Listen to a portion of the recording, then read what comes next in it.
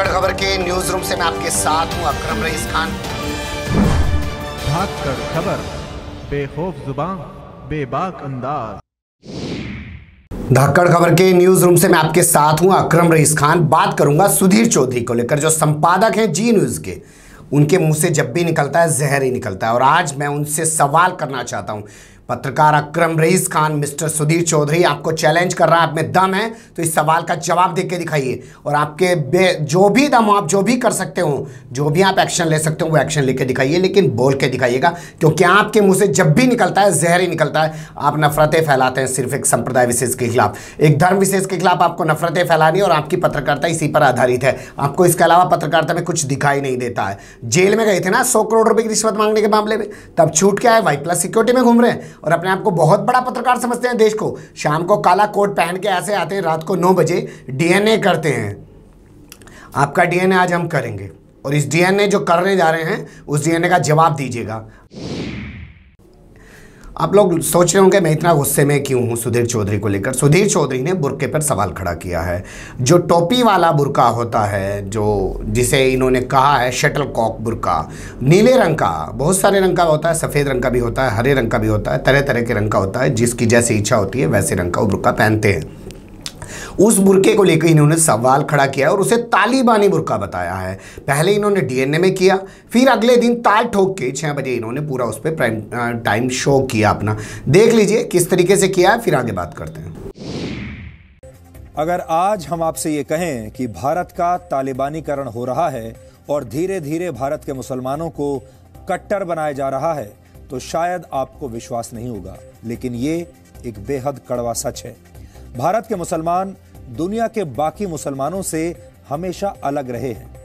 हमारे देश में हमेशा गंगा जमुनी तहजीब रही है और मूल रूप से भारत के मुसलमान कभी भी कट्टर नहीं रहे। लेकिन अब भारत के इस असली डीएनए को बदलने की कोशिश हो रही है और आपके आसपास तालिबानी विचारधारा का असर लगातार हर पल बढ़ रहा है।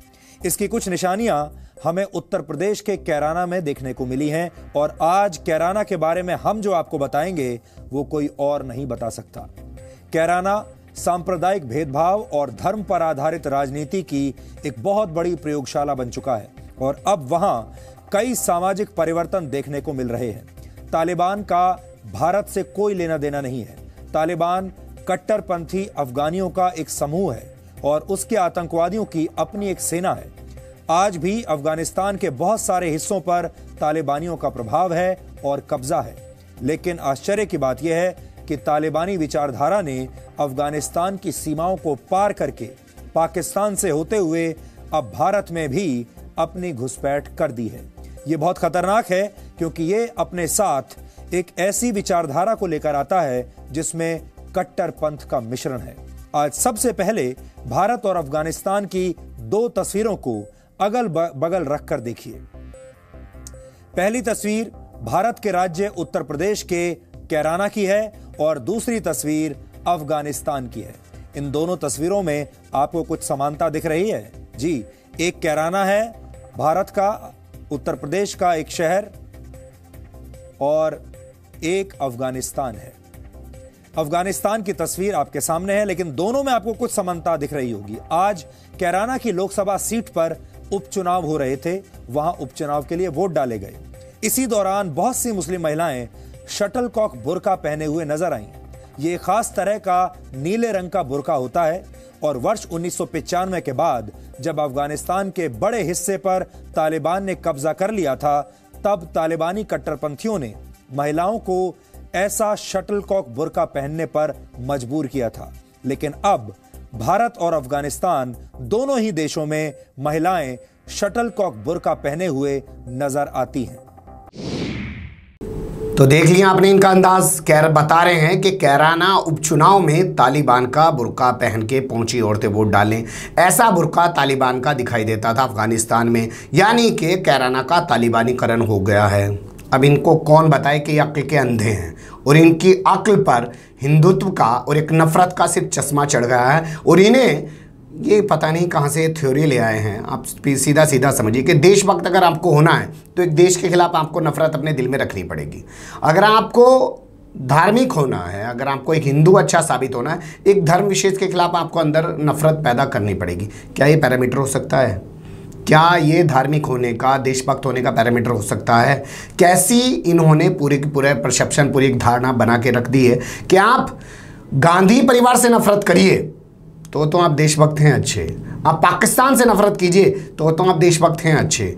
आप मुस्लिम धर्म से, मुसलमानों से, मज़हब इस्लाम से नफरत कीजिए तो तो आप एक अच्छे हिंदू हैं। क्या नफरत करना अब? एक ये पैरामीटर बन गया है, ये एक सिद्धांत बन गया है, ये एक उसूल बन गया है और ये कहाँ से ये उसूल ले आए हैं? इनके बारे में जब आप सोचेंगे ना, इनकी पूरी की पूरी सोच इसी पर काम करती है कि एक व्यक्ति विशेष, एक समाज विशेष, एक धर्म विशेष, एक देश विशेष के खिलाफ आप नफरत करिए और अपने आप को अच्छा साबित करिए, तभी आप अच्छे साबित हो सकते हैं। ये इनका अंदाज है। लेकिन मैं इनसे पूछना चाहता हूँ, इन्होंने कहा कि तालिबान का बुरका है। मैं बागपत का रहने वाला हूँ। बागपत ज़िले के अंदर मेरा गाँव पड़ता है, पूरे छोर पे जाके पड़ता है, जमुना के किनारे पे। तालिबान के बारे में पहले बता देता हूँ, फिर अपने गाँव के और अपने आसपास के माहौल के बारे में बताऊँगा, बुरके के बारे में बताऊँगा। तालिबान उन्नीस में पैदा हुआ अफ़गानिस्तान के अंदर और उसने पूरे करीब नब्बे पचानवे फ़ीसद अफ़गानिस्तान पर कब्ज़ा कर लिया, जिसे तालिबानी हुकूमत कहा जाता और तो बाद में जब ओसामा बिन लादेन भागकर उनके पास पहुँच गया और अमेरिका ने पीछे से आकर कहा कि ये ओसामा बिन लादेन हमें दे दो, उन्होंने देने से मना कर दिया। उसके बाद जंग हुई। जंग हुई तो सब वो लोग तबाह बर्बाद हो गए, ख़त्म हो गए। यानी कि कुल मिलाकर सीधी सी बात यह है कि तालिबान का जो जन्म हुआ, तालिबान जो आया, वो उन्नीस में आया। मैं अपनी दादी को, अपनी ताई को, अपनी चाची को, सब लोगों को, या गाँव के अपने अंदर यही बुरका पहनते हुए, देखते हुए बड़ा हूँ। मेरी उम्र करीब चालीस साल हो गई है। उन्नीस से भी अगर मैं जोड़ूँ तो सिर्फ़ बैठती है बाईस तेईस साल। बचपन से मैं देखता आ रहा हूँ। उससे पहले से वो इसी किस्म का बुरका तमाम पूरे इस इलाके के अंदर जो हमारे बागपत से शुरू होता है और सहारनपुर तक जाता है। बागपत शामली, मुजफ्फरनगर, सहारनपुर, इस इलाके के गाँव में आप जाएँगे तो मुस्लिम औरतें जो हैं, जो पुरानी मुस्लिम औरतें हैं, जो उम्र दराज हैं, वो आज भी यही बुरका पहनती है। वरना जो आजकल की नई लड़कियाँ हैं, वो दिल्ली एनसीआर में देख लीजिए, बुरका क्या है? उनके बुरके पे तो देवबंद को फतवा देना पड़ा कि ये बुरका पहनना बंद करें। वो तो पूरा सेक्सी बुरका पहनती हैं। जो वर्ड है वो ही बता रहा हूँ आपको। उनके बुरके का स्टाइल ही दूसरा है। पूरा कसा हुआ बुरका, चुस्त बुरका पहनती है। नहीं, वहाँ पर जो बुरका पहनती हैं, उस पर सर पे टोपी होती है। सामने से आगे नकाब होता है, लटका हुआ। उसमें जाली बनी होती है आँखों से देखने के लिए। खुला होता है, जिसे उन्होंने बार बार अपनी भाषा में कहा कि टेंट सा पहना देते हैं औरतों को।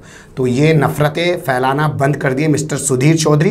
ये तालिबान का बुरका नहीं है, ये बुरका यहाँ सदियों से पहना जाता है। और रही बात आपके रंग की, आपने नीले रंग को लेकर सवाल खड़ा किया तो सफ़ेद रंग का, नीले रंग का, हरे रंग का, जिस भी रंग का जिसको पसंद है, वो बुरका पहनती हैं औरतें, और तमाम औरतें पहनती हैं, ये मेरे अपने घर में पहनती हैं। अगर दम है तो चैलेंज करके दिखाओ, जवाब दे दिखाओ, इस बुरके को तालिबान का बुरका बता के जो नफरतें फैलाने की कोशिश कर रहे हो, क्योंकि है तो कुछ नहीं।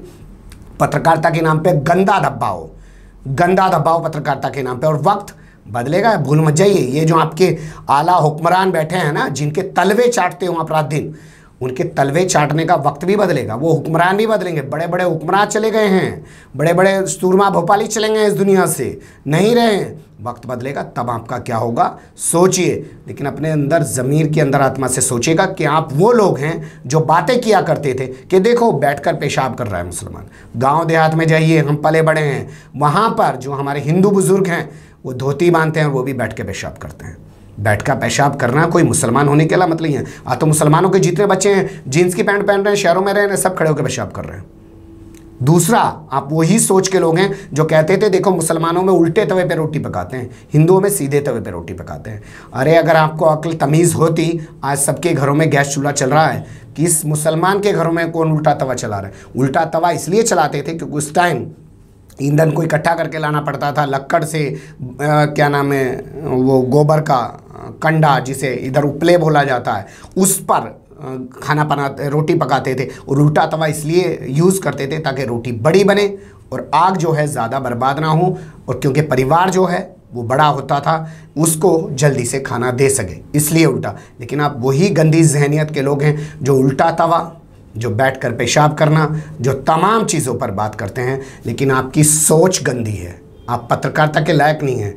आप गंदी जहनीत के पत्रकार हैं और पत्रकारिता के नाम पे एक धब्बा है। जब इतिहास लिखा जाएगा ना, आपको पत्रकारिता के जो असल माने हैं, जो लोग लिखने वाले हैं, उसमें आपको पत्रकार कोई नहीं लिखेगा। चाटुकार, भोंपू लिखेगा आपको, जो आज आप हैं और हमेशा से आप रहे हैं, सिर्फ़ एक सत्ता विशेष को खुश करने के लिए। राजतंत्र नहीं चल रहा है बाबू वहाँ पे। ये बदल जाएगी फिज़ा। और जब फिज़ा बदल जाएगी, तब कहाँ जाओगे? तब आपका क्या होगा? सौ करोड़ की रिश्वत मांगते थे। इतने भले नहीं हो, वाइट प्लस सिक्योरिटी में घूम रहे हो, जेल में घूम के आए हो। इतने अच्छे पत्रकार नहीं हो। दम है तो इस बुरके पे आके जवाब दे के दिखाना। आपको हमारी खबर कैसी लगी? कमेंट्स के रूप में आप भी अपनी राय दे सकते हैं। हमारी खबर को लाइक कर सकते हैं, चैनल को सब्सक्राइब कर सकते हैं और ज़्यादा से ज़्यादा हमारी खबर को शेयर कर सकते हैं। ऐसे फिर किसी सुलगते हुए मुद्दे के साथ मैं आपके सामने हूँ हाजिर। फ़िलहाल अभी मुझे दें इजाज़त।